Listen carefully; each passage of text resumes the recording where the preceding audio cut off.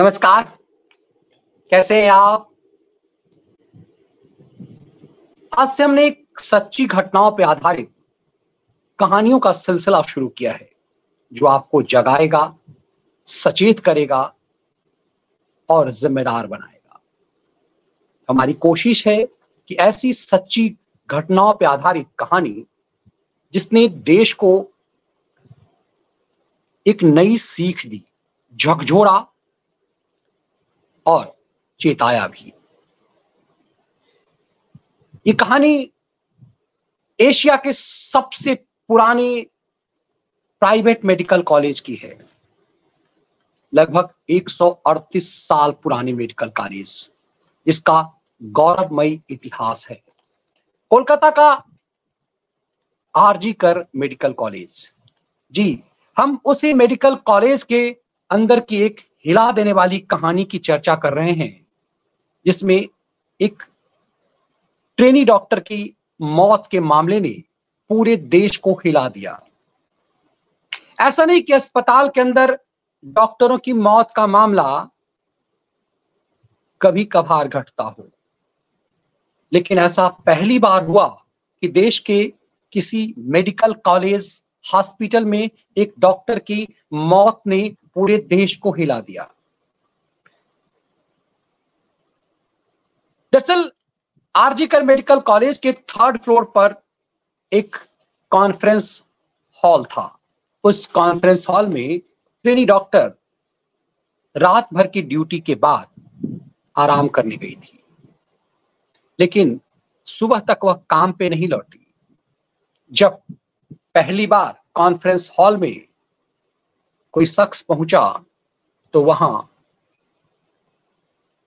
उस डॉक्टर लड़की की बॉडी दिखाई दी। उसने दूसरे साथियों को बताया और शाम तक यह मामला जो लग रहा था कि इसे यूँ ही सल्टा दिया जाएगा, कॉलेज के डॉक्टरों के बीच ही ये चिंता का विषय बनता चला गया, क्योंकि अस्पताल प्रशासन ने इसे आत्महत्या कह दिया था। और जब डॉक्टर के माता पिता अस्पताल आए तो उन्हें सुसाइड पहली बार कहा गया, फिर अननेचुरल डेथ। लेकिन जागरूक युवा डॉक्टरों ने इस मौत को संदेहास्पद बताते हुए प्रोटेस्ट करना शुरू किया। और इस प्रोटेस्ट ने एशिया के सबसे पुराने मेडिकल कॉलेज, हॉस्पिटल की अंदर चल रहे मानव अंग तस्करी और वेस्ट प्रोडक्ट के खेल को खोल कर रख दिया।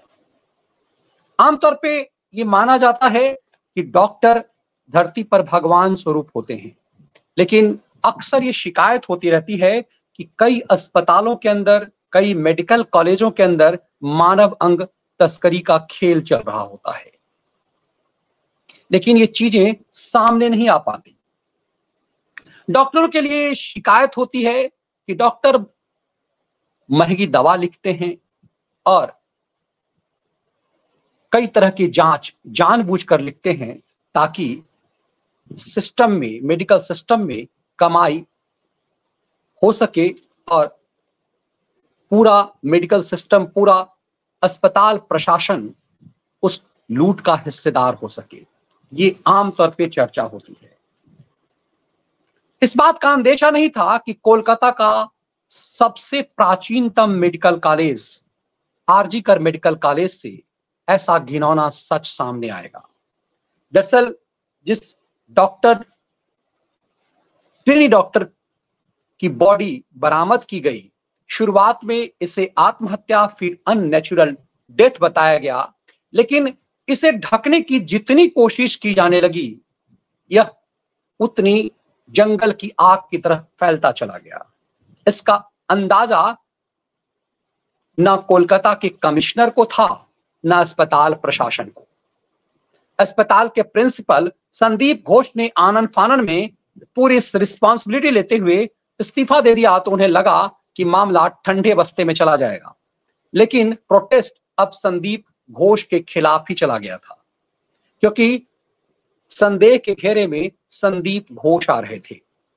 दरअसल जिस लड़की की मौत 8 अगस्त 2024 की रात को हुई, बताया जा रहा है कि 8 अगस्त को देर रात वो कॉन्फ्रेंस हॉल में आराम करने गई। सुबह छह बजे पाया गया कि ज़मीन पर उसकी बॉडी पड़ी हुई है और वो ऐसी स्थिति में है कि उसे शुरुआती में देख ही लगा कि वो बॉडी मृत है। लेकिन इस छह बजे बॉडी मिलने के दो घंटे के बाद कॉलेज के प्रिंसिपल की एंट्री होती है और परिजन को बताने में लंबा समय लगता है। उन्हें गुमराह किया जाता है कि उनकी बेटी ने आत्महत्या कर ली। उसके बाद इसे अननेचुरल डेथ बताया जाता है। कूल्हे उसके टूटे हुए हैं, पूरे अंग छत विछत हैं, फिर भी कोलकाता पुलिस इसे छुपाने की कोशिश कर रही थी। रहस्य यहीं से गहराता चला गया। ये प्रोटेस्ट देशव्यापी होता चला गया। कोलकाता से लेकर पूरे देश के के डॉक्टर हड़ताल पर चले गए। देश के अलग अलग हिस्सों में आम जन ने इसे प्रोटेस्ट का मुद्दा बना दिया। रेप और मौत। इस देश में कोई ऐसी घटना नहीं थी जिससे पूरा देश हिल जाए। लेकिन 2011 में निर्भया कांड के बाद देश पहली बार इस कदर उद्वेलित हुआ और राजनीति से ऊपर उठ करके डॉक्टर बेटी को इंसाफ दिलाने की मांग होने लगी। तो रहस्य और गहराता चला गया। दरअसल, पश्चिम बंगाल की मुख्यमंत्री ममता बनर्जी, राज्य की गृह मंत्री और राज्य के स्वास्थ्य मंत्री दोनों थी। दोनों। और इन तीनों ज़िम्मेदारी के बाद ऐसा लगने लगा कि ममता बनर्जी कहीं ना कहीं इस पूरे मामले को छुपाना चाह रही है। उनके ऊपर जब दबाव हुआ तो वो शहर के अंदर खुद ही प्रोटेस्ट करने लगी। तो सवाल उठा कि ममता किसके खिलाफ प्रोटेस्ट कर रही है? वो तो खुद स्वास्थ्य मंत्री हैं, वो तो खुद गृह मंत्री हैं, वो स्वयं मुख्यमंत्री हैं तो इस पूरे मामले को घनता से जाँच होनी चाहिए थी। चार दिन बाद उन्होंने कहा कि वो अपराधी को फांसी के तख्ते पर 24 घंटे के अंदर लटका देंगे। ये सब इमोशनल बातें थी। ये देश जानता है कि किसी मामले को अदालत में चलते चलते सालों लग जाते हैं। 24 घंटे में किसी की फांसी नहीं होती। लेकिन ममता ने ये सब कर वाहवाही लूटने की कोशिश की। इस पूरे खेल में देश ने देखा कि कैसे ममता बनर्जी पूरे मामले को गुमराह कर रही है। कोलकाता पुलिस के कमिश्नर अक्सर संदेह के घेरे में आते रहे लेकिन मेडिकल कॉलेज का प्रिंसिपल संद, पब्लिकली संदेह के घेरे में हो ऐसा नहीं होता। आमतौर पर मेडिकल कॉलेज के प्रिंसिपल अस्पताल के सुप्रिंटेंडेंट का सच सिर्फ़ डॉक्टर जानते हैं और पूरा मामला कभी बाहर नहीं आ पाता। लेकिन लगभग 138 साल पुराने इस अस्पताल को अब सरकारी अस्पताल का दर्जा आज़ादी के बाद मिल चुका हुआ था। अब इस कॉलेज को बंगाल के स्वास्थ्य मंत्रालय के अंदर ले लिया गया था। ऐसे में बंगाल सरकार संदेह के घेरे में आने लगी। तो कई टेलीविज़न चैनलों पर अब उसी अस्पताल में असिस्टेंट सुप्रिंटेंडेंट के रूप में काम करने वाले डॉक्टर्स भी सामने आने लगे और उन्होंने ऐसा सच बताना शुरू कर दिया कि पूरी रूह काँप गई। इसी अस्पताल में कभी काम करने वाले अख्तर अली, जो पूर्व असिस्टेंट सुप्रिंटेंडेंट थे, उन्होंने वो सच बताया अलग अलग चैनलों पर, आज तक से के अलग अलग चैनलों पर जाकर इस अस्पताल में मानव अंग तस्करी का भी धंधा चलने का आरोप लगता रहा है। उन्होंने जो बात कही, वो चौंकाने वाली थी। उन्होंने कहा कि संदीप घोष बाउंसर रखता था और यही संदीप घोष छात्रों को फेल करने के बाद अपने गिरोह के कुछ छात्रों से कहता था कि यदि उसे पास होना है तो उसे इतने पैसे देने होंगे। ये सब सच। अब स्टूडेंट डॉक्टर भी कहने शुरू कर दिए, इस अस्पताल में संदीप घोष का प्रकोप किस कदर था? वो बाउंसर लेकर चलता था और यह भी सामने आया। इसी अख्तर अली ने यह कहा कि जिसे, जिस संजय राय को एक्यूज बनाया गया, ये कहा गया कि कोलकाता पुलिस में वॉलंटियर है। दरअसल, खेल यहाँ से शुरू हुआ कि जब प्रेशर पड़ने लगा कि ये मामला आत्महत्या का नहीं है अननेचुरल डेथ भी नहीं है तो फिर इस पूरे मामले में एक किरदार पेश किया गया। कोलकाता पुलिस का एक वॉलेंटियर संजय राय को। संजय राय इसी अस्पताल में पुलिस वॉलेंटियर के रूप में काम करता था। और अख्तर अली, जो इस इसी अस्पताल, इसी कॉलेज मेडिकल कॉलेज, हॉस्पिटल में पूर्व असिस्टेंट सुप्रिंटेंडेंट थे। उन्होंने बताया कि जब मैंने इस संजय राय का चेहरा देखा तो मुझे याद आया, ये वक्त बेवक्त ये प्रिंसिपल के साथ रहा करता था मतलब संदीप घोष का बाउंसर भी था ये। इसने पूरे रहस्य को और गहरा दिया। और ये दिखाना शुरू किया कि देश भर में जो डॉक्टर प्रोटेस्ट कर रहे थे, डॉक्टरों की सुरक्षा के लिए जो प्रोटेस्ट कर रहे थे देश भर में जो डॉक्टरों के अंदर जो ये आक्रोश था कि डॉक्टर की सुरक्षा होनी चाहिए। दरअसल, इस महिला डॉक्टर की हत्या किसी मरीज़ ने नहीं की, किसी गुंडे ने नहीं की।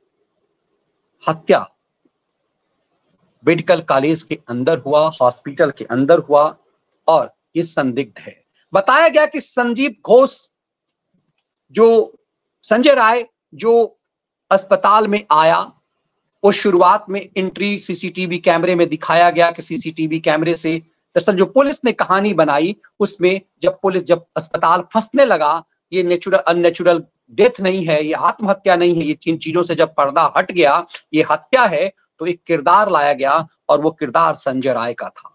संजय राय बारह हज़ार रुपए की सैलरी पर कोलकाता पुलिस में वॉलेंटियर के रूप में काम करता था और उससे अतिरिक्त पैसे अस्पताल से मिलते थे वो संदीप घोष देता था। और उसे फंसाने के लिए एक फ्रेमवर्क तैयार किया गया कि सीसीटीवी कैमरे में वो अस्पताल में आता दिखाई दे रहा है, वो कॉन्फ्रेंस हॉल की तरफ़ जाता हुआ दिखाई दे रहा है और जब वो लौटता है कुछ देर बाद तो उसके पास जो पहले से जो हेडफोन थे वो नहीं थे। दरअसल यही खेल है और अब ये माना जा रहा है कि उसका जो हेडफोन उसके पास नहीं थे, वो उस हेडफोन को ये दिखाया गया कि वो स्पॉट पे है और उसी हेडफोन के सहारे संजय राय को गिरफ़्तार कर लिया गया। अब सच यह सामने आने लगा कि अकेला संजय राय ना तो उस लड़की का रेप किया और ना ही अकेले वो मार सकता था। जिस ढंग से विभत्स कंडीशन में बॉडी थी, इससे लगता है लड़की की हत्या में कई लोगों की भूमिका है। इस संदेह ने रहस्य को और गहरा दिया और तब शिकंजे में मेडिकल कॉलेज का प्रिंसिपल संदीप घोष आ गया। संदीप घोष को तब तक कोलकाता में ममता बनर्जी की सरकार ने वहाँ उस अस्पताल आरजीकर हॉस्पिटल से निकाल करके उसे और बेहतर अस्पताल में भेज दिया था। ये ममता बनर्जी के ऊपर संदेह और बढ़ाने लगा। ये संदेह ममता बनर्जी पर इसलिए बढ़ाने लगा क्योंकि आखिर ऐसे अपराधी प्रवृत्ति के डॉक्टर के प्रति इतनी मेहरबानी ममता सरकार की क्यों थी? जब पूरा कोलकाता ही नहीं, पूरा बंगाल ही नहीं, पूरा देश इस पूरे मामले को लेकर आंदोलित था। सच यह दिखने लगा कि इस देश के इतिहास में किसी रेप और मर्डर को लेकर के पूरा देश आंदोलित, इससे पहले सिर्फ़ निर्भया कांड में दिल्ली में हुआ था। कोलकाता के लिए ये पहला अनुभव था। देश के लिए ये दूसरा अनुभव था। ममता बनर्जी पहली बार परेशान नज़र आई तो सड़क पर प्रोटेस्ट करने लगी। इस बीच किसी ने मामला हाईकोर्ट में डाल दिया और कोलकाता हाईकोर्ट ने इस पर संज्ञान लेते हुए इस पूरे मामले को सीबीआई को सौंप दिया और निगरानी खुद करनी शुरू कर दी। कमाल की बात यह है कि इस पूरे मामले में जब संदीप घोष को डिटेन किया गया, जब संदीप घोष से लगातार पूछताछ की जाने लगी तो रहस्य और गहरा गया। तो फिर इसी कॉलेज के कई स्टूडेंट के बयान दर्ज कराए गए और विशेष रूप से अख्तर अली, जो पूर्व असिस्टेंट सुपरिटेंडेंट था, उसने उस सच को सामने रख दिया कि 2022 में भी इस कॉलेज में जो जो अठारह का ये कॉलेज है, उस कॉलेज में हंगर स्ट्राइक हुआ था, मानव अंग तस्करी का मामला सामने आया था। और वेस्ट प्रोडक्ट जो आप अक्सर देखते हैं कि अस्पताल में मरीजों के लिए जो इस्तेमाल होते हैं उसमें कई ऐसे प्रोडक्ट होते हैं जो इस्तेमाल नहीं होते हैं उसे फिर से दवा दुकानों पर भेजा जाता है प्राइवेट दुकानों दवा दुकानों पर। और फिर जो सरकार के खर्च पे जो दवा आती है जो मेडिकल इक्विपमेंट लाते हैं वो प्राइवेट अस, अस्पतालों को बेचे जाते हैं और वो दवा दुकानों को तक पहुँचाए जाते हैं। यही खेल देश भर में कई सारे मेडिकल कॉलेज हॉस्पिटल पर लगते रहे हैं। इस लड़की की मौत ने देश के सबसे पुराने नाम चीन आरजी कर मेडिकल कॉलेज पर एक ऐसा बदनुमा दाग लगा दिया है जो सवाल करता है, आखिर ऐसा क्यों हुआ कि आरजी कर मेडिकल कॉलेज अस्पताल का ये प्रिंसिपल इतना बड़ा हब्स इतना हवस का शिकार हो चुका हुआ था? ये पूरा मामला नैतिकता, मानवता और धरती पर भगवान के रूप में माने जाने वाले मेडिकल पेशे को कलंकित करने वाला था। मानव अंगों की तस्करी क्या सचमुच इस अस्पताल में होता है? क्या बेस्ट प्रोडक्ट को लेकर के एक माफियागिरी का काम क्या सचमुच इस मामले में होता है? यह मामला सिर्फ़ अख्तर अली ने नहीं कही है। अख्तर अली का कहना है कि ये पूरी तरह से बाउंसर लेकर के संदीप घोष चलता था। संदीप घोष एक निजी सचिव अपना रखता था। अशरफ खान, जो इसका निजी सचिव था, संदीप घोष के लिए काम करता था। और जिस संजय राय को एक्यूज बनाया गया है, वो संजय राय भी संदीप घोष के लिए ही काम करता था। तो चौतरफा संदीप घोष गिर गया, लेकिन अब महत्वपूर्ण सवाल यह कि संदीप घोष को ममता बनर्जी क्यों बचाना चाहती थी? तो पूरी तरह से ये पूरा मामला ममता बनर्जी तक आता है। तब ये लगता है कि जब करोड़ों की कमाई इस मेडिकल माफियाओं के द्वारा होती है, मेडिकल कॉलेज अस्पतालों की होती है तो वो सत्ता और सिस्टम तक कैसे पहुँचता है? जिस पेशे को लेकर इतना सम्मान आपकी नज़र में होता है, उस पेशे के पीछे का सच क्या है? कमाल की बात यह भी है कि पूरा मामला जब कोलकाता हाई कोर्ट में चल रहा था तो फिर इस मामले को बड़ी चालाकी से सुप्रीम कोर्ट लाया गया। सुप्रीम कोर्ट में देश के सबसे प्रभावशाली वकील कपिल सिब्बल इसी ममता बनर्जी सरकार की वकालत करने लगे और पूरा पासा पलटने से लगे। इस पूरे मामले में जब इस बात की जाँच होनी चाहिए थी सेंट्रलाइज करके कि आखिर इस कॉलेज में क्या सचमुच मानव अंगों की तस्करी हो रही है? क्या बेस्ट प्रोडक्ट का धंधा चल रहा है? क्या मेडिकल कॉलेज के जूनियर डॉक्टरों को पढ़ाई कर कर रहे, करने के दौरान फेल कर दिया जाता है और उसके बाद वसूली करके उन्हें पास कराया जाता है। क्या ये सब खेल चल रहा है? ये सब खेल समाज का नहीं है, डॉक्टरों के खिलाफ। ये डॉक्टरों का भय समाज से नहीं है, ये मेडिकल माफियाओं से है बड़े बड़े कॉलेजों से है, जिसका संपर्क सीधा सत्ता के प्रतिष्ठानों से है। ऐसे में यह, ये सच्ची घटना आपको और हमें जगाता है, हमें सचेत करता है। जिम्मेदार बनाता है कि क्या डॉक्टरों को मरीजों से आम जन से डरने की ज़रूरत है या फिर उन्हें अपने ही अंदर पक रहे, पल रहे इन मेडिकल माफियाओं से। जिस संदीप घोष का सच, भयावह सच अब देश को चौंका रहा है। सीबीआई इसे परत दर परत जाँच कर रही है और माना जा रहा है कि इस अस्पताल में पिछले दस सालों में जो इस तरह की वारदातें हुई हैं, कई बार डॉक्टर्स, जूनियर डॉक्टर छलांग लगाकर आत्महत्या किया, सुसाइड कमरे के अंदर किए गए और उन तमाम चीज़ों को रफा दफ़ा कर दिया गया। इस कॉलेज में इससे पहले कई सारी ऐसी घटनाएँ हो चुकी हुई हैं। देश के कई मेडिकल कॉलेज, अस्पतालों में जूनियर डॉक्टरों ने इस तरह की हद की रहस्यमयी मौत हुई है, जिसे आत्महत्या करार दिया गया।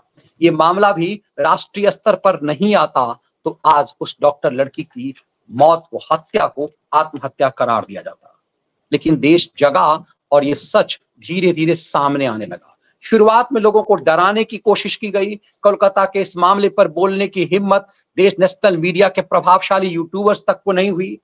लेकिन जब राष्ट्रव्यापी आंदोलन बना तो खौफ सत्ता और संस्थानों को होने लगा और फिर ये मामला सुप्रीम अदालत तक पहुँचा। सुप्रीम अदालत में सरकार के लिए प्रभावशाली वकील आए। माना जाने लगा कि इस पूरे मामले को दबा दिया जाएगा, लेकिन आम इस इस पूरे मामले को जब आम जनता ने अपने हाथ में ले लिया तो फिर इसे दबाने की ज़रूरत किसी की रह नहीं गई।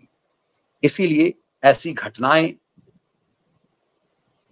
जो कई बार जिसे हम इग्नोर करते हैं ऐसे किस्से जिसे हम कहानी समझकर टाल देते हैं। ऐसी सच्ची घटना हमें जगाता है, हमें सचेत करता है जिम्मेदार बनाता है। उम्मीद करें कि ये कहानी, ये सच्ची घटना, ये सच्ची कहानी आपको सचेत किया होगा, आपको जगाएगा और हम सबको जिम्मेदार बनाएगा। ये कहानी आपके ऊपर कितना प्रभाव डाली, कमेंट्स में ज़रूर बताइएगा। बहुत बहुत धन्यवाद। वंदे मातरम। day.